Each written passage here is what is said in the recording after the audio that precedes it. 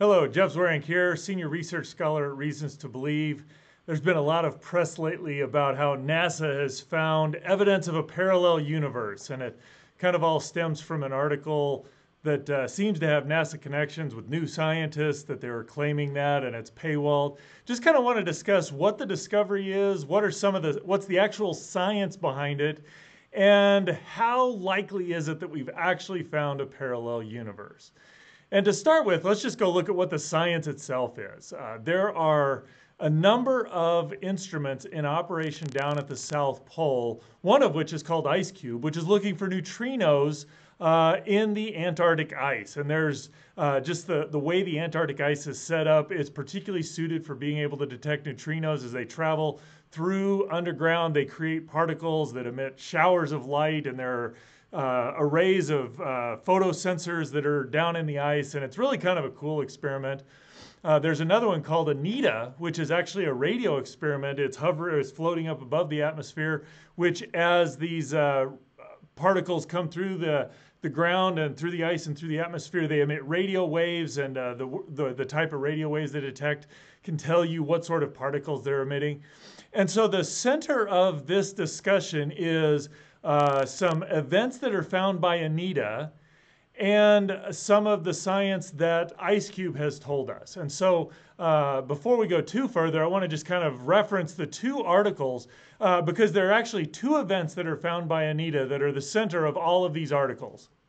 And if you go back and look at the Physical Review Letters version 121 published on the 18th of October back in 2018, uh, they have it has a title of this observation of an unusual upgoing cosmic ray like event in the third flight of ANITA. And they describe what this event is uh, what could likely produce it and they say it may be an upward propagating tau lepton uh, produced by a new, uh, tau neutrino interaction. And so the idea is you've got these tau neutrinos going through the center of the Earth. They come up, they interact in the top part of the ice, produce a tau or a, a tau lepton that then produces the uh, signature seen by ANITA. The challenge of this is that these sorts of events are difficult to explain within the context of the standard model of particle physics. And so the abstract for this article actually ends with uh, this sentence. If these are generated by tau lepton decay, then either the charged current uh, neutrino cross-section is suppressed at these energies, or the events arise at moments when the peak flux of a transient neutrino source was much larger than expected. So they recognize the difficulty of explaining this event. Uh, it has a, a, background estimate of about 10 to the minus 2 events, so it's a, it's a very rare event or an unusual event. And they wrestle with uh, how do we explain this event in the context of the standard model? Uh, uh, this actually uh, is connected with a, a similar uh, article in, again, Physical Review Letters, uh, version one or volume 117 from uh, 8 August 2016, where they detected four different cosmic ray-like events, two of which were unusual air showers. One of them was very horizontal, and a third one was like this tau lepton decay uh, with a very steep incident angle of incidence. And so this, these cosmic ray-like events are the scientific measurements behind all of this discussion of whether NASA has found evidence for a parallel universe. So, uh, you know, if you want to investigate more of what the actual science is behind that, go look there.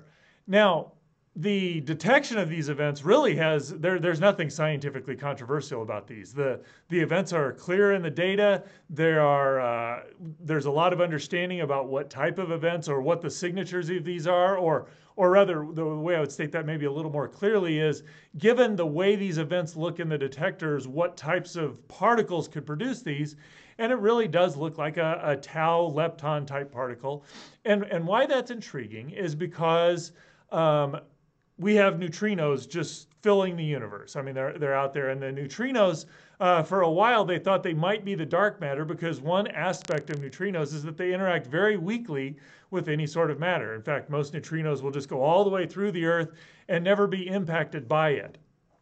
Um, we know now that there is some interaction, which or interaction with the Earth and mass, and so that tells us they have some small amount of mass themselves. Um, but and there are three types of neutrinos. There are uh, electron neutrinos, muon neutrinos, and tauon neutrinos. And uh, what's interesting about this is not so much that neutrinos flow through the Earth, it's that in order to get a tau neutrino to flow all the way through the Earth, produce a tau-like event that would, that would give the signature that ANITA saw, um, it should, those sorts of events should have been seen by IceCube and other neutrino detectors, and they haven't. And so, given the constraints of IceCube and other detectors and what ANITA sees, it's very difficult to explain this kind of event.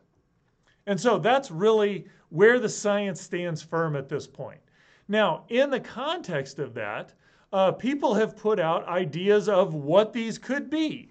Um, you know, there's articles in uh, the, the, the Astrophysical Archive that are saying here are ways to explain this. And, and there's an, actually an excitement about this kind of discovery for most scientists because what it points to is physics beyond the standard model. Now, the standard model of particle physics is this thing that has been, it, it's, it's been around for 40, 50 years. It is incredibly proficient at explaining the vast majority of interactions we see today how electrons and protons and neutrons and gluons and all of these things, uh, the different quarks that exist, the different neutrinos that exist, the different fermions that exist, the bosons that bind them all together. It explains all of those in this very coherent, uh, nice picture. The problem is we know that it can't be the final explanation. And so scientists are looking for beyond standard model, standard model particle physics to explain, for instance, why do we have uh, fermions and bosons? Uh, or, or, or, do they mix together? Well, nothing in the standard model allows them to, but maybe there's some mechanism in the early universe which is beyond the standard model that allows them to interact. So scientists expect that there's something beyond the standard, standard model of particle physics that will allow us to understand the universe even better. Why this is exciting is this may be a signature that allows us to know what that beyond the standard model physics is. Now, there are lots of different explanations out there. Um, you know, I, I'm not even going to really articulate some of them because they're rather technical, and I could point you to articles. Uh, in fact, maybe in, in, in, the link where we post this on YouTube or wherever it gets posted, we'll put some, the links to some of those articles. But you can just do that. Uh, you can actually go look for those uh, yourself on the web. Just type in uh, ANITA anomalous events, and you're going to get lots of links to what the events were and what some of the explanations for them might have been the point I want to bring up in all of this is not that there's any question about the physics of detecting these, or even that there's anything remarkable about the fact that people are looking beyond the standard model, standard model of particle physics to try and explain them. The question is, does the idea of a parallel universe provide a good explanation, or where do we put that in the line of explanations? Uh, you know, I'm not sure what NASA exactly said. Uh, I know that people have put uh, the idea out there that perhaps if there's this parallel universe where time run backwards, that could explain this sort of event. Uh, the, the, the challenge or the reason why that's a low probability event is that there's lots of other more mundane explanations rather than positing the existence of this vast multiverse out there that we really have no way of measuring. So question I have is how do we deal with all of this? Um, you know, it's, it's a challenging thing. There's a, there's a lot of interesting speculation out there. Um, this is the way I think about it. There's this event, there's, there's this science out there, measurements that we that are very well founded, very legitimate, uh, that are challenging, uh, that we that we that, that don't fit our models to this point. That says, all right, we need to push beyond our models and figure out how to incorporate this new data. Now, even in that, there's there's kind of two options or two things have generally played out. Sometimes more data will resolve that and say, you know what we thought was a discrepancy turns out to be something that we just didn't account for. And it's entirely possible that as we observe more and more of these events, that we'll find, oh, there's a more mundane explanation that we hadn't accounted for. Could be there's a problem in the detector that gives us a signal we weren't expecting. That's very unlikely here, but that has happened in the past. There's times where you just get a single or maybe even a couple of events and you just never do get an explanation. Uh, one, one, uh, one type of event or one scenario or one instance where that played out was there was a, an experiment which seemed to have detected a magnetic monopole back in the, in the 70s and 80s. Um, we never have really gotten an explanation for why that signature came there, but we've done multiple uh, experiments later to find magnetic monopoles that would have been far more sensitive, and we never have found them. So we've got this measurement that we don't really have an explanation for, but we know that it isn't pointing to magnetic monopoles. And so it may be that as we uh, go along, we find that there are only these maybe handful of events that are very difficult to explain that uh, we may never get an adequate explanation, but we just know they're not really that insightful in pushing the field of physics forward. More likely what's going to happen is that we find that, okay, there are these events out there, and they're either, they're going to push us towards physics beyond the standard model. And that's really what this one is looking like. So in that scenario, it's not the, uh, we just find more data and find it's not really, it's, it's an unexpected effect, but something more ordinary. It's not the event that we may never explain, but is, isn't really useful for advancing physics. It really does look like it's going to be beyond the standard model particle physics. And so what do we do with that?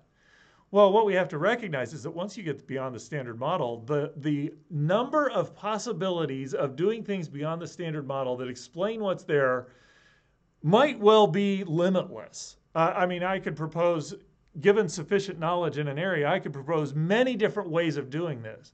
The question is, how do we now bring experimental data to those to narrow in or constrain or validate which ones are out there? And there's a good way, to, a good approach to do that is you ask the ones, which are the ones that are the least bizarre, ones where it's just kind of a, a, small increment or a little bit of step where it's like, okay, this is not what we expected, but it might be something more, uh, you know, just this one extra thing. When we now evaluate the parallel universe model of this, if you look at all the simple ones and then even the more complex and even the more complex, this is way down the road. So if there are, you know, a hundred more mundane explanations, the parallel universe one is maybe item a thousand or maybe even 10,000 or maybe even a million out there. So rather than jump straight to that and say, oh, we've got evidence of a parallel universe, let's realize that it might be that, but there's a whole lot of steps we need to get to before that is the best explanation. In fact, the fellow who's leading the project that discovered these uh, particles or these weird events described it this way. It says, in this case, one or more journalists have evidently moved ahead with an article which was not verified and for reasons which are not clear, have ascribed research and papers to us which we never wrote.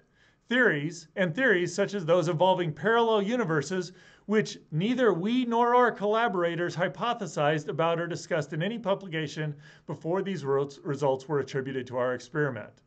This is one of the reasons that scientific advances proceed by a more measured process through peer review and verification by other investigators. So even the people behind this discovery are saying, hey, let's be very careful here. Let's be more measured. There are good routes forward which are going to help us advance science, understand our universe better, and explore this incredible creation in which we have.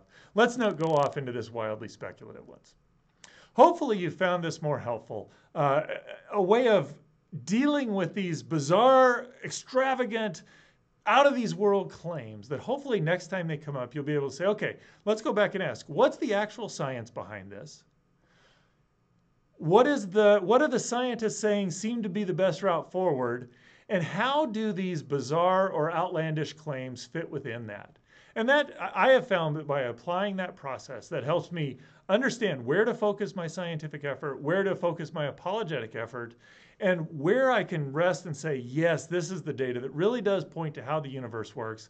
And as a Christian, I found that as I've done that, I found that this universe really does point to God. There's a God out there who created this universe, who loves us, cares for us, and wants us to know Him. And He's revealed that most clearly through the Bible, but He's also revealed that through this creation that He's given us to study and the scientific process that His creation has allowed to happen. So I hope you find that encouraging and helpful. Come back, check back later. Let's see what new, new discoveries come up. And let's just continue to explore this fascinating universe and see what it has to tell us.